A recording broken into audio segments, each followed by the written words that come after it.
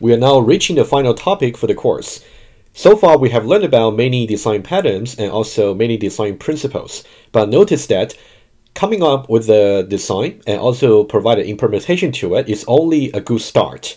In order to really complete the design activity that you are trying to undergo, you really have to justify or even prove its correctness. So coming up with a design or implement a design that's not correct is basically useless. So that's why proving the correctness of your design will be crucially uh, important. So that's uh, the main topic for uh, the final lecture.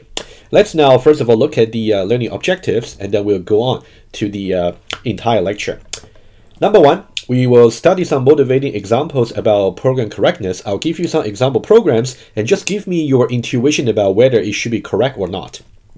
And number two, we'll introduce to you the notion about Hoare triple. So it's a way to really turn your program, which is written in some imperative language like Eiffel, Java, or Python, uh, any language. And then Hoare triple has a way to really turn your uh, empirical program into a Boolean predicates for which you can simply prove whether there's a predicate, uh, it's a tautology or not, right? Either prove it or disprove it. And number three, in order to really uh, uh, prove the uh, Hoare triple uh, effectively, we have to consider the notion of the weakest precondition. We talk about no the notion of a predicate being either weaker or stronger relative to another one. So we want to think about what would be the weakest precondition that cannot be weaker anymore. Otherwise, uh, your program is going to be incorrect. So that's kind of the idea we're going to play with, but we'll get to the details uh, once we get there. Okay, number four, uh, we are going to give you a calculus about calculating WP, the weakest precondition. Given an arbitrary program, how you can actually calculate the weakest precondition for that in order to establish its postcondition. We'll also get to the details. Number five, we once we learn about all the uh, basic programming constructs for assignments, uh, if conditional, and also sequential composition. We're going to talk about loops, which is in general very hard to get because you can have uh, have many uh, uh, subtle mistakes. So we talk about two contracts for the loops. One about class uh, loop invariance, the other one about loop variance. For those of you who, who might be taking 3101 who, or who have taken 3101, you may have been exposed to these two concepts already. But for this course, we don't really assume you know, know about the two concepts. I'll teach you from scratch and give you some examples to uh, strengthen your understanding. So number six, once we learn about the contract for the loops, we are going to uh, talk about how you can prove the correctness of a loop that's properly equipped with contracts. Okay, so that's going to be the uh, outline for uh, this uh, lecture here. It's going to be a three-hour lecture, so stay tuned, and then we'll speak about each uh, detail uh, for you. All right, so the first one here is just the background. So this, uh, the first three slides were already covered in the previous lecture about subcontracting, but they're somehow relevant about the background of a predicate being strong or weak, and also about the uh, the uh, precondition and also postcondition being weak or strong. So I'm just going to skip the first three slides. We have went, uh, gone over them already previously. You can just read them, uh, read them quickly, just to brush up your memory about predicates. Okay, so I'm just going to skip the first three slides. It's just a complete repetition of uh, the previous subcontracting lecture.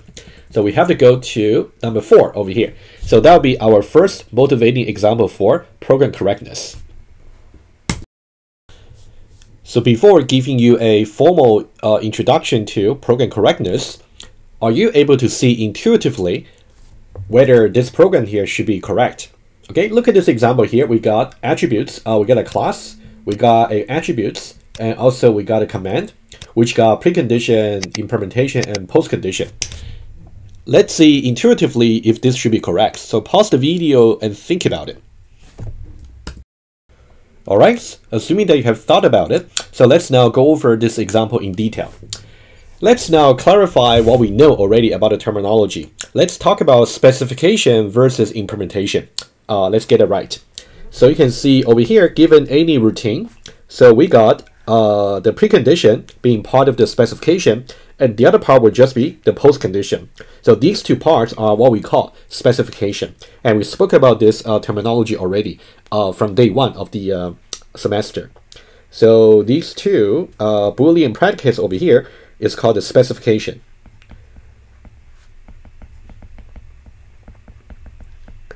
And on the other hand, uh, what you learned before this course is mainly about implementation, right? You don't you don't really have the notion about contracts uh, before studying this course. Uh, but uh, for that, uh, whenever you want to implement something, you want to implement as efficiently as possible. So this part over here is so-called the uh, implementation. That's between the uh, within the do uh, block. So this part over here is the implementation.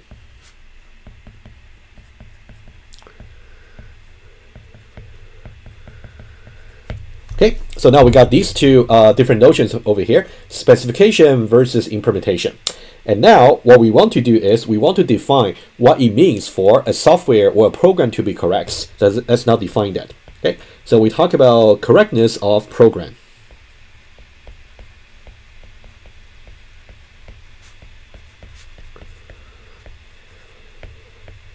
And uh, let me point out, first of all, whenever you talk about correctness, it's really relative. It's not really absolute you cannot really say a program is absolutely correct. Okay, you can only say it's relatively correct. So what is relative uh, to what? That's uh, what I want to clarify. But let me just write it down first. So what does it really mean uh, for a piece of program to be correct? That means the implementation satisfies the specification. I'll just say spec for short.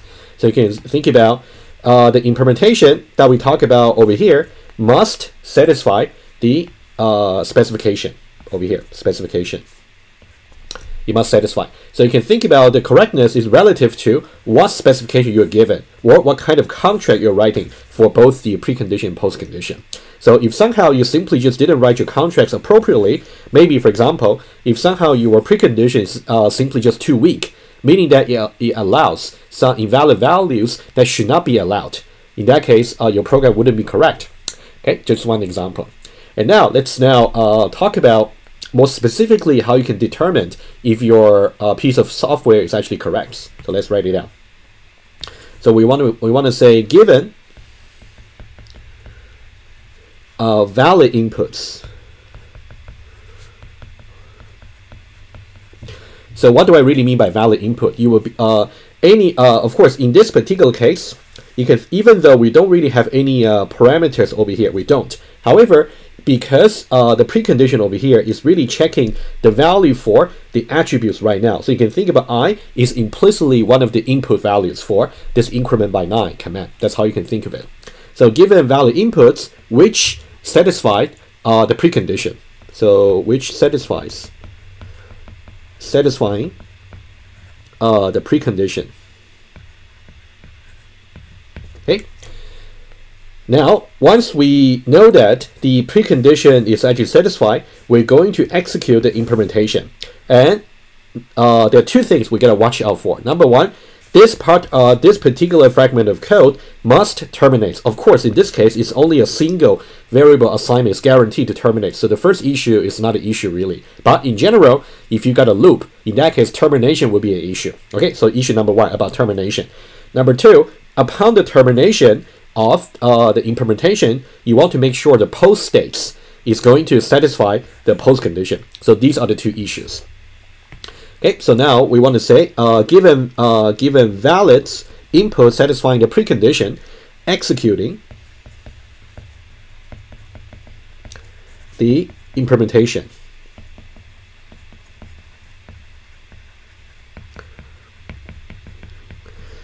Well, okay, so here we got to talk about the two issues I just mentioned. Number one, terminates. Okay, and number two, assuming that you will terminate. So upon termination,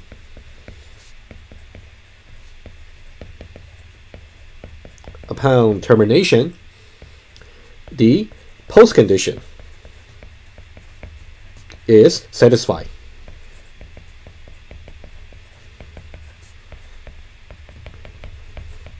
You might be wondering, what about the class invariance? Remember what we spoke about before if there's any class invariance over here, you can think about it as if the invariance was declared as the post condition for every routine. So you can think about the post condition over here is also including the class invariance implicitly. You can think it uh, think that way.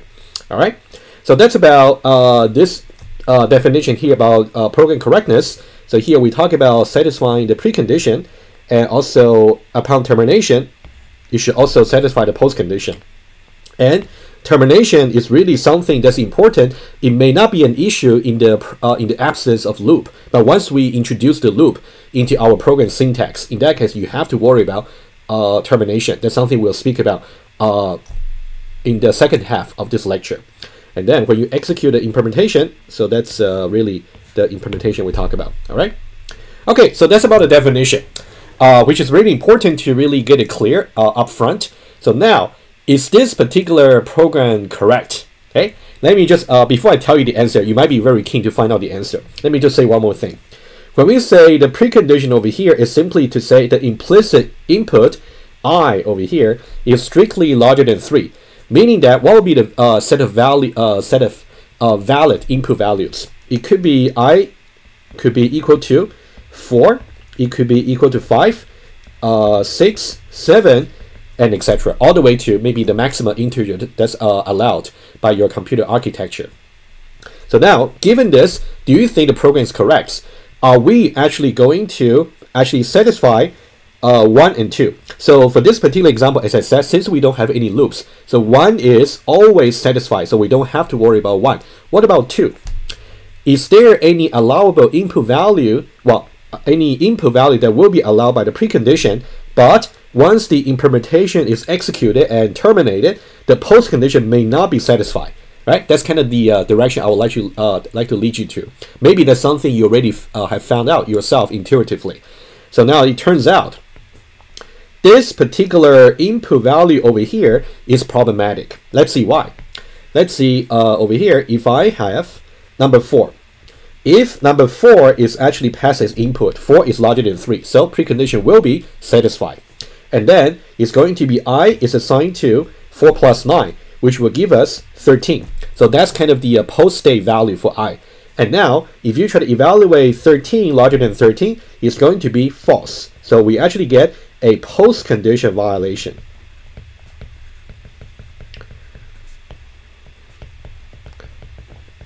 Okay, and then we can make the conclusion that this program is not correct. Is uh, not correct. All right, and then uh, let's now uh, dig in a little bit uh, deeper.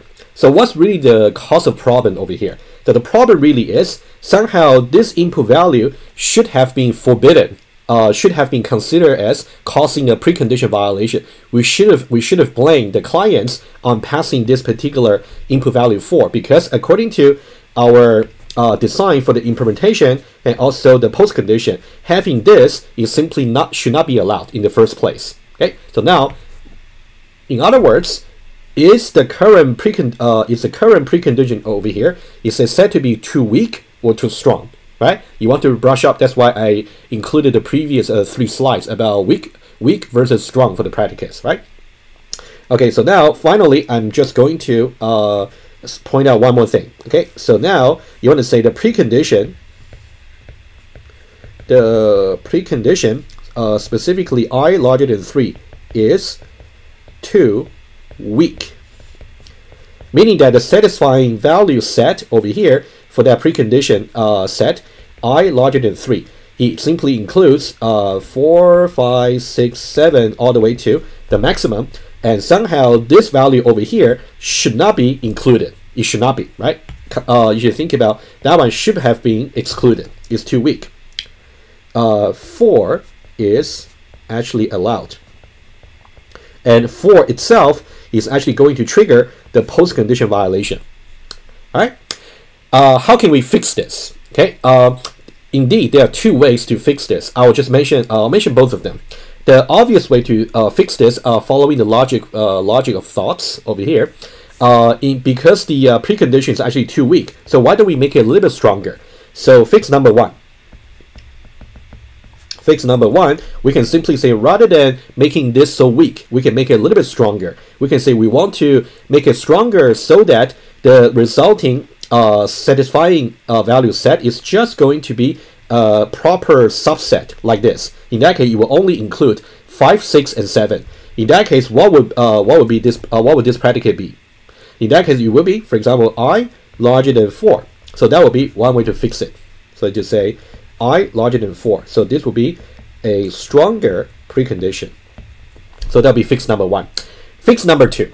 Let's say we don't really want to change the precondition. Maybe uh, maybe as far as the requirements for your specific application is concerned, you believe we should always allow 4, 5, 6, 7. All right. If you believe that's the case, so in that case, if the implementation also needs to be uh, the case because it's really called increment uh, by 9, I don't see any way around implementing it. So now another way to fix it is, why don't we make the uh, post condition over here uh, weaker? So rather than saying i should be larger than 13, right? Okay, so now we can uh, fix number 2. We can uh, weaken the post condition. How do we make it uh, weak, uh, weaker? In the sense that we should also allow the output value to be not just uh, uh, not uh, so you can see currently the smallest value that can be allowed by the post condition will be uh, like a 14, 15, and also 16, right? But now we should also allow, in the case where 4 is actually taken as input, it will be 13. So 13 should be allowed as well. So in that case, we can just make it maybe i larger than 12. So this will be fixed number 2, right? Let me make it very clear to you. You can see fixed number 2, we're going to weaken the post condition. In that case, this will be the result. If you, you can either do the pink one, or uh, if you go back to the original uh, precondition over here, you can see fixed number 1 over here. So let me just uh, say, say that uh, also here. So uh, when we change it to i larger than 4, it's really to strengthen the precondition. Strengthen the precondition. You can see either we strengthen the precondition or weaken the postcondition. Either way, you don't do both. Okay, let me just use a different color. So fix number one is about strengthen the precondition, right? And then in that case, it's going to be i larger than 4. Right, so we got either fix 1 or fix 2. Choose either one, but not both.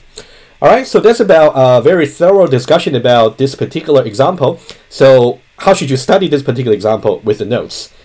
Number one, you want to review uh, this notion about the correctness of the program being relative.